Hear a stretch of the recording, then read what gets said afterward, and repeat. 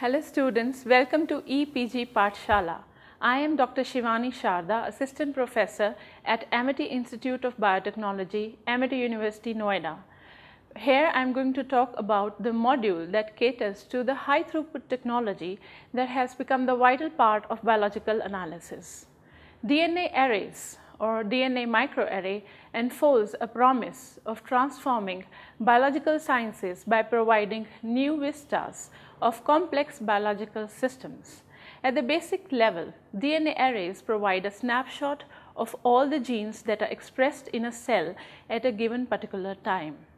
The topics that are covered under the module deals with comprehending how microarray has developed as a technology for gene level studies, explain the different types of array production and the technical aspects, explain the process of acquiring data and biological interpretation in microarray and then finally to demarcate the DNA microarray as a technology and its applications in genotyping and gene expression analysis. At the outset, let's introduce the technology as per its concept map. The microchip technology is a high throughput process linked to the biological sample analysis or the biological sample interpretation. As is clearly evident, biological query forms the basis towards understanding the molecular detailing which is dependent upon a very good experimental design you can understand that microarray follows biological query which is interpreted through experimental design which is performed by microarray experimentation. The experimentation involves normalization by doing image analysis. The image analysis is undertaken to perform the quality assessment. After the quality assessment, you can either undertake normalization steps or you might have to repeat the experiment if the quality assessment of the experiment fails. The analysis part of microarray deals with estimations, filtering, clustering and discrimination of data. The data interpretations could be done through functional enrichments or through pathway analysis. The biological verifications are enhanced by using alternate technologies like real-time or MS technologies. Next we come to have information about what are the microarrays. By its literal meaning, microarray means they are microscopic slides containing an ordered series of biomolecules or an array. The ordered series could have biomolecules likewise of DNA, RNA, protein and tissue captured and probed for various activities. The number of ordered samples can run from hundreds to thousands so that the data obtained from microarray can be traced back to the samples. Microarray types depends upon the material that is placed on the slide. For DNA, it is called DNA microarray. If we are using RNA, it is called RNA microarray, which is more or less now converted to cDNA microarray. If our primary source of material placed on the slide is protein, then it is called protein microarray which has specific subtypes depending upon whether we are using antigens, antibodies or epitopes. When we are using tissues or cells, they are called tissue microarray. The first step of manufacturing of microarray slides involves the chemical modification of the slide substrate using reactive groups that are preferably as aldehydes or primary amines for stabilizing the DNA onto the slide, either by covalent bonds or by electrostatic in interactions.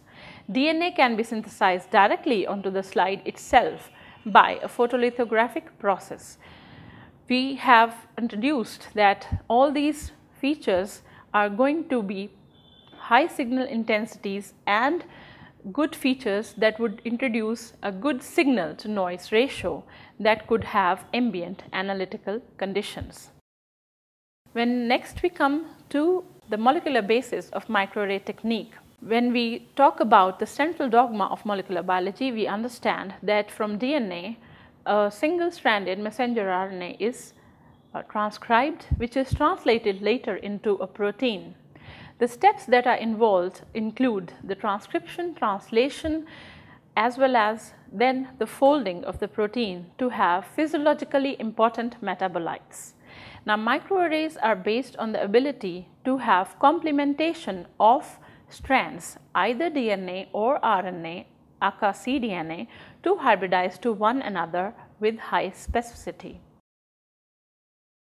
The evolution of microparameters transforms from a typical clinical study to a typical genomic study. When we compare macroarraying versus microarraying, the typical clinical study as is invariably seen in the slide says that the number of variables run from tens to hundreds whereas the use of around 1000 to lakh of cases are required to perform a perfect clinical study. Whereas a typical genomic study, the number of variables can range from 10,000s to 1 lakh and the number of cases required would be only from tens to hundreds. So that is the reason we perform microarray experiments to solve varied biological queries to which the answers are to be found in the realm of hundreds and thousands or an entire genome of individual genes. These experiments generate massive amount of data which resolve many molecular queries all in one go. Microarrays become the integrated technology platform they combine genomics, silicon chip manufacturing, DNA and protein coupling chemistries, signal and image processing intensities, biostatistics, software skills and miniaturized versions of traditional molecular biology experiments. There is a need to develop new software to analyze the results of many possible experiments. Microarrays gives you a complete snapshot of gene expression at the genome level to understand the comprehensive quantitative view of the entire genome or the transcriptome.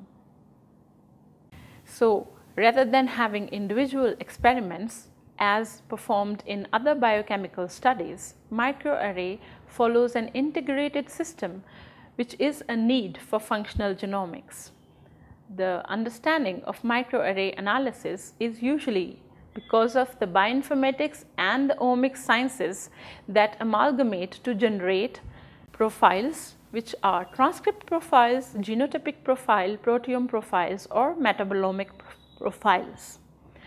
As well as we can have information on the interactomic versions where genome level interactions of DNA and protein protein and protein can be demarcated. When it comes to high throughput screening, we can understand the quantitative analysis of the phenotypic variations that are happening at the gene expression levels.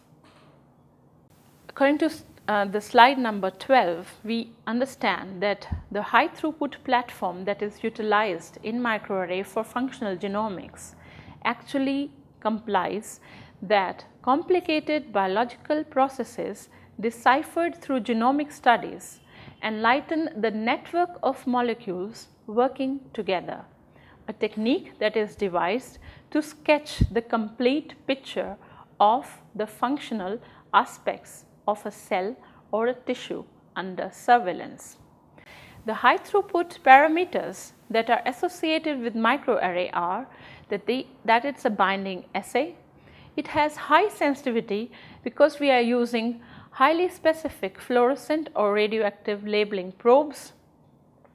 Microarray is a parallel process which means that it allows the detection of thousands of genes simultaneously. It is a miniaturized version of a normal hybridization platform as we can see in the technical strategy. The automation actually reduces the amount of human interventions and we rely on computer aids to involve the microchip analysis. Microanalysis is also considered as a multiplex platform where multiple samples or experiments are performed at the same time. The quantitative analysis of data using microarray analysis is going to give more amount of reliable and versatile information that is available to date. the next slide gives you the experimental workflow and the technical strategy behind microarray. Microarray is a grid of DNA spots on a substrate that is used to detect the complementary sequences applied as hybridization extracts. DNA spots can be deposited by various methods which are contact based or non-contact based method. For example, piezoelectric or inkjet style printing, photolithography which involves the photolithographic masked nucleotides to be deposited in situ on the chip and maskless deposition. The substrate that can be utilized for making the microchips can be plastic, glass or silicon. DNA or RNA of interest is labeled and hybridized with the array. Hybridization with probes is then detected optically. So, basically it is a high throughput process of the traditional hybridization experimentation that involves the chip manufacture, making of the array platform, then utilizing this array platform to hybridize that is detected by microarray scanners and the image is analyzed using various technologies. Now, when we talk about high throughput analysis, the experimentation involves in microarray spotting or fabrication of substrates likewise of nylon, glass or silicon. The biological samples in the arrays or the silicon chips or the glass slides can be deposited by using two different varied methods.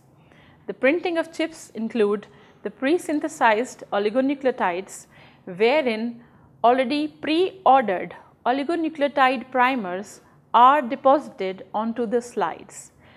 The other method include the in situ chip manufacturing where the labeled DNA primers are added on the chip itself. Then these chips are scanned after hybridization using laser beams which are demarcated according to the fluorescent labels that are utilized in the gene level probes. These are called the experimental features aka spots which extensively understand the genome level expression or the genome level sequencing which is conducted on these chips. The arrayers conclude that they are a set of capillary pins or pens to deposit nanoliter volumes of samples at high density onto the coated plates. The array scanner which is utilized after hybridization contains a proprietary lens that keeps moving the laser beams at sharp focus at all points on the slide. The emitted fluorescence passes through the filters through a photomultiplier tube the emission spectra of the cyanine dyes that are utilized for microarray analysis. We can observe that they have very crisp spectra as per their emission and absorption levels. The coated slides are seen on the right hand side panel, whereas the automated slide processor which is utilized for hybridization as well as for scanning is seen on the left corner of the slide. Next we come to the technology platform detailing, we can see that there are two methods, the spotted or the pre-synthesized glass slide arrays and the in situ oligonucleotide arrays. The left photographs tells you the different types of smaller molecules, peptides, proteins or DNA that could be labeled onto the chips. The common probes that are utilized are the cDNA or the oligonucleotides. The spotted DNA arrays are chemically synthesized or made by PCR and then mechanically spotted on the array. The amount of the spot can vary according to the technology platform. Method is more flexible and less expensive. The probe length is from 60 base pairs to entire cDNA clones. DNA is deposited by printing using robotically controlled fine tipped pins the in situ manufactured can be done by photolithography, a technology that has been taken over by the famous company Affymetrix. This is more consistent and shorter oligonucleotides are used for the array printing. The pre-synthesized oligonucleotide probes machine and the robot that is printing 100 slides at 74 plates which are 384 wells, 48 print tip version. There are multiple substrate that could be labeled which are using amines, aldehydes, poly-L-lysines, thiol. The multiple labeling options include the various fluorescent dyes. The gene machines that are utilized here are usually doing the spotted microarray presentation, whereas the on-spot or the in-situ manufacture happens by using masked nucleotides which are demasked using photolithographic technologies. A spotted two channel array that have been utilized to understand the general difference of a standard mock uh, series of cells which are HeLa cells as well as the adenovirus infected cells from where the total RNA has been extracted the reverse transcription has generated the cDNA which has been labeled by two different dyes the CY3 and the CY5. The CY3 is the green color dye eh, whereas the CY5 is the red color dye. After the scanning the RNA samples are read by using two times the laser beam, first the CY3, then followed by CY5. These images that are generated through co uh, the computer are then overlaid onto each other to generate the final data. The in situ oligonucleotide arrays which are including the parallel synthesis of oligonucleotide probes using a photolithographic methods. This introduces a lot of diversity by involving millions of probes on the microarray. Multiple probes per genes could be generated and usually these arrays are the one color arrays. We go into the details of Affymetrix by seeing the Affymetrix gene chip probes on the next slide. The gene chip probes has the magnified views where the DNA strands are bound and they are built as per in each spot. There are millions of DNA strands per spot. And when the sample is coming and labeling, they try to find the complementary sequences onto the labeled probes. The final slide on laser irradiation leaves us with the signal of fluorescence that is coming from the labeled probes and the hybridized sample. As we have understood that gene expression analysis performs is the major uh, achievement of DNA microarray, we would understand that there is a, a requirement of RNA analysis and RNA isolation. The isolation from RNA could be from tissue specificity.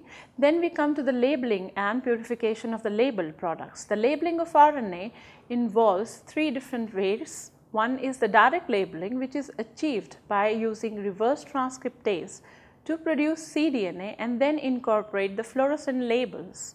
Most commonly used dyes are CY3 and CY5, the CY indicating cyanine. Other fluorophores that are available are CY3.5, TAMRA and Texas Red. The second way of doing the labeling is the indirect labeling where a reactive group, usually a primary amine, is incorporated in the cDNA first and then the cyanine dyes are coupled to the cDNA in a separate reaction. The main advantage of this indirect labeling efficiency is to have higher efficiency and incorporation of smaller molecules during the reverse transcription step. The third way is to have free incorporated nucleotides to be removed. Now, when you are doing this, you can purify this whole labeled product by using column chromatography or using ethanol precipitation of the samples. Now we come to the second most important part of the experiment which is hybridization. The hybridization involves hybridization buffer. The standard is sodium citrate. Non-specific DNA blocking usually done by bovine serum albumin or Denhardt's reagent. The hybridization temperatures that are utilized in, in, experimentation are around 15 to 20 degrees centigrade below the melting temperature which is which comes up to 42 to 45 degrees centigrades for PCR products. And for longer oligos you need to have a bit more 5 degree increment in the hybridization temperature. Hybridization time can be from few hours to generate reproducible results to overnight hybridizations which are commonly ascertained to undertake initial experimentation. The hybridization of the slide is followed by scanning. The scanners that are used in microarrays are usually linked to photomultiplier tubes or confocal microscopes which use laser at exciting wavelengths specifically for the dyes that are utilized here that is CY3 and CY5. The scanner excites the fluorescent dyes present at each spot on the microarray and then the dye emits a characteristic wavelength that is captured in a photomultiplier tube. The amount of signal emitted is directly proportional to the amount of dye at the spot on the microarray and these values are obtained and quantitated on a scanner. This is the basic protocol that is followed in experimentation and finally there is a reconstruction of the signals that are located to each location or the experimental features on a microchip slide. For cDNA microarrays, the intensity values are generated for CY3 and CY5 producing two color data. The process now finally involves building of the chip that involves massive PCR reactions, PCR purifications and then printing the slides by preparation of slides and then post processing. Side by side we can see that RNA preparation of the biological sample is done by purification of RNA, isolation and cDNA production as well as labeling. Hybridization of the chip involves the probe labeling and then hybridization followed by the data analysis. The data analysis involves the image analysis that is undertaken after the RGB overlay of the CY3 and CY5 images. As we can see a nice image that is demarcated by the dual channel array. Following that, we can understand the qualitative interpretation of the reads, where the green represents high control hybridization, the red represents high sample hybridization, the yellow represents a combination of control and sample where both have hybridized equally. Black spots represent the areas where neither the control nor the sample is hybridized. Now coming to the qualitative interpretation of the reads, we have to understand how to quantify the amount of color that is achieved after the overlay, meaning how green is the green, what is the ratio of the signal to the background, how to compare multiple experiments using different chips? And how to quantify cross hybridization if any. If we understand the life cycle of microarray as a technology or a technique, we understand that we began with a biological question leading to our estimations of sample preparation as well as chip manufacturing followed by microarray reaction and then microarray detection and the final step involves data analysis and modeling. Conceptual approach of the technology involves how the array is analyzed, how the array is placed, how the analysis of biological interpretation is done, what are the different types of applications, the different ways of adding technology that are present nowadays. So, we go ahead and understand the data analysis from here on. The data analysis involves the normalization which in includes that the Meyer gene expression in any experiment is the true gene expression but there are contributions that are coming from many sources of variability.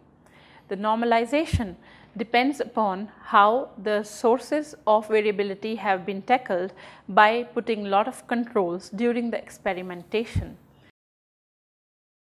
The high throughput experimentation in microarray data is uh, detailed for introducing normalization because high throughput data leads to high amount of data variability.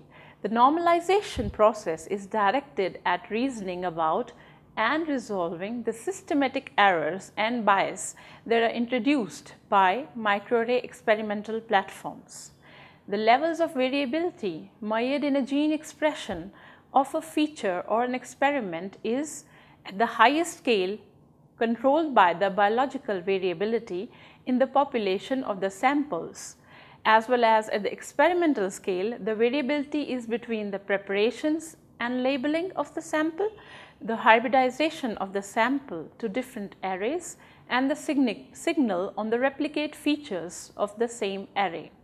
The overall aim to achieve the quantification of the MIAD calculated variability is to have a complete differential analysis of the genes. The normalization aims to understand the features as biological significant uh, analysis or interpretations all the normalization processes are involved because raw data that is catering to the messenger RNA concentrations which are through the analysis of the fluorescent probes could be contaminated by tissues due to RNA degradation. There are differences in the amplification efficiency of the PCR product. There are differences in the reverse transcription efficiency hybridization efficiency as well as specificity of the probe and the target, clone identification and mapping. There could be differences in the PCR yield. Then there could be spotting efficiency which are the technical efficiencies which could include the D DNA support binding, manufacturing related issues, then accordingly the image segmentation, signal quantification as well as background correction. All these kinds of biological and technical difficulties lead to normalization to be performed on each experiment in microarray. When we are talking of normalization, the first step for normalization is image segmentation and analysis. The image is analyzed for its uh, quality and then assessed whether the experiment has been done in a perfect manner or not. The image segmentation involves gridding of the image by using virtual grids which would have different types of methodologies which include uh, specific image segmentation, variable image segmentation or edge detection algorithms. When we are coming to microarray analysis, we understand this image pre-processing is a requirement to involve data pre-processing. The objective for data pre-processing is to convert the image of thousands of signals to values for each gene or probe set. This involves multiple steps which are beginning through image analysis, background correction and noise subtraction and then understanding and estimating the expression value for a gene or probe set analysis and background noise usually is done by the proprietary software. The quality control of the slides are usually done at the probe level, at the array level and at the gene level. The quality at the probe level is assessed by measuring the expression of one spot on a particular array. The quality at the array level is usually done to estimate the quality of expression on a particular glass slide and at the gene level at the quality of expression measurement of one probe across all arrays. The probe level quality control means we are looking for individual spots printed on the slide and the sources of variability could be faulty printing, uneven distribution, contamination with debris, magnitude of signal relative to noise and poorly mired spots. The visual inspection is also giving us the information whether there is any kind of environmental contamination likewise of hair, dust, scratches, air bubbles or any other regions with haze. We estimate the spot quality by its brightness, uniformity, morphology and spot size. Now we estimate how to undertake normalization using various values. There are procedures where missing values are estimated and then normalization is performed by either the local or the global scales. We have understood that the microarray experimentation is uh, having substantial amount of problems that involve array fabrication defects, problem with RNA extraction, failed labeling reactions, poor hybridization conditions or faulty scanners. There are biological and technical problems that has to be catered so as normalization becomes the most important and integral part of understanding DNA microarrays. The quality measurements would include whether we would go ahead with our data analysis which include the gene level control, the probe level control and the array level control. Normalization corrects for the variation in hybridization and the assumption that it takes that there is no change in the global gene expression. Without normalization, the intensity values of the various chips would be so varied that a generalized information for the biological interpretation would not be easily available. We understand that the streamline analysis of microarray data involves the processing of raw data to normalize and then filter the normalized data sets for significance, for classification as well as clustering to understand the genome function or the gene networks so that we can do functional analysis or network analysis. Finally, we conclude that microarray has various applications in the fields of transcriptomics, genomic analysis, metabolomics, systems biology, pharmacogenomics, proteomics and the biggest application being gene expression analysis. After we have understood the basis of microchip technology, we want to understand or summarize what can be measured using microarrays. Microarrays majorly are used for messenger RNA expressed by a gene-gene expression analysis array, an exon array or a tiling array. Then the amount of messenger RNA expressed by exon-exon array or tiling array could be measured. Amount of messenger RNA expressed by a region of DNA in tiling array could be directly measured or we can actually assume through exon array what kind of DNA strand is expressed and which kind of several uh, similar DNA sequences are present in the genome using SNP array.